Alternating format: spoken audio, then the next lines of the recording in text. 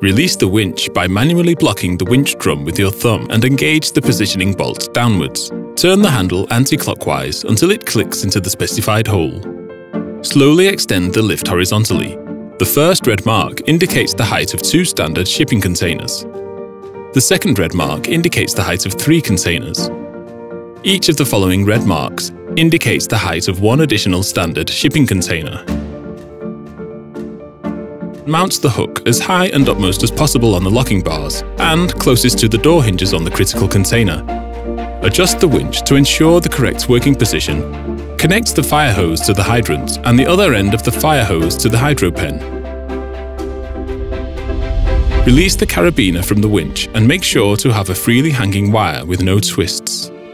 Connect the HydroPen to the wire by attaching the carabiner to the specified holes. Hoist the HydroPen firmly upwards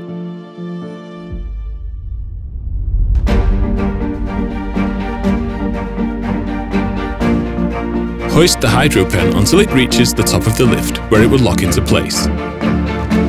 Let go of the lift and walk away from the area.